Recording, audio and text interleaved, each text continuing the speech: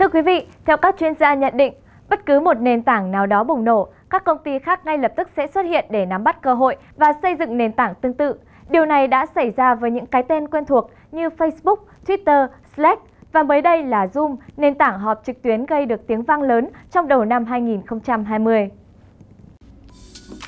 Brain, một nền tảng cho phép người dùng lưu lại dữ liệu trong Zoom đã thu hút đến 4 triệu USD sau hai vòng gọi vốn.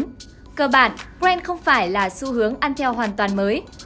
Hiện nhiều công ty đã bán sản phẩm của mình thông qua chợ ứng dụng Zoom, Zoom App Marketplace. Nhưng Brain lại là công ty đầu tiên xây dựng toàn bộ hoạt động kinh doanh xung quanh nó.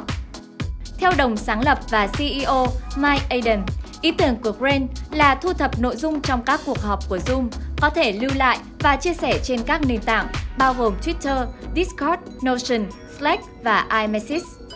Khi một sinh viên hoặc học sinh muốn ghi chép, họ có thể ghi âm lại một phần những gì giáo viên đang nói, lưu lại và chia sẻ với cả lớp mà không cần tua lại toàn bộ bài giảng.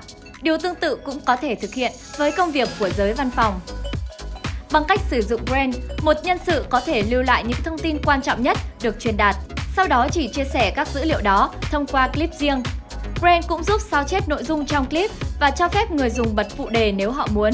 Các video này dao động từ 30 giây đến 10 phút. Chúng cũng có thể sâu chuỗi với nhau thành cụm, giúp người dùng dễ nắm được những điểm nổi bật tóm tắt, không giới hạn thời gian. Người dùng có thể cắt, điều chỉnh độ dài của điểm nổi bật này khi ghi âm, cũng như kiểm soát xem ai có quyền chỉnh sửa video, ngăn người khác sử dụng tùy tiện những đoạn này. Adam cho biết anh và anh trai là Jack, một cựu kỹ sư phần mềm, đồng sáng lập công ty, còn sử dụng Brain để lưu lại những khoảnh khắc đáng nhớ liên quan đến cháu gái, cháu trai trên Zoom. Trên thực tế, cuối năm ngoái, Brain đã thu hút khoảng 4 triệu USD từ các nhà đầu tư. Giờ đây, đội ngũ 11 người của Brain đã sẵn sàng thực hiện những gì họ đã xây dựng trong giai đoạn thử nghiệm với số vốn đó.